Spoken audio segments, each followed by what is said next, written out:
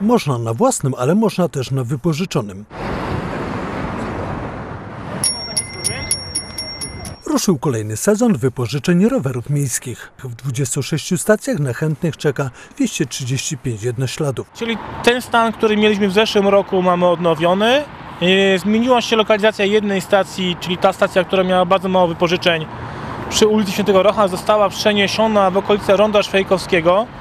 Chcemy skomunikować rowerowo tę strefę przemysłową tam, gdzie dużo często tam pracuje i e, do pracy dojeżdża, więc chcieliśmy dać im szansę do dojazdu ro- rowerem do pracy. Mamy też takie informacje, że pojawi się wkrótce nowa stacja prywatna, więc jeżeli się ta stacja pojawi, to będziemy myśleć o relokacji jeszcze jednej stacji, żeby się one nie dublowały swoimi zasięgami.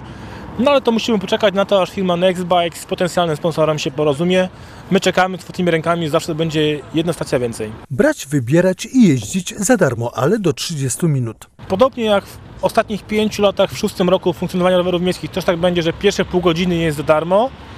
Tego nie zmienialiśmy. W mojej ocenie jest to trochę za długo, natomiast no, w tym roku był ten stan jeszcze utrzymaliśmy.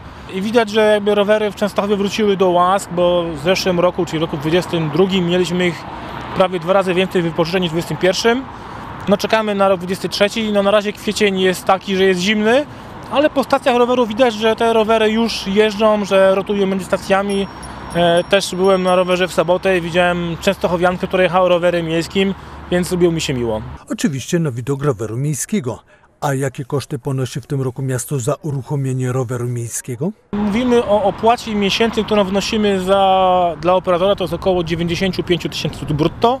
E, Razy 6 miesięcy, czyli to powiedzmy no, wychodzi tam 500 tysięcy, 590 tysięcy niecałe.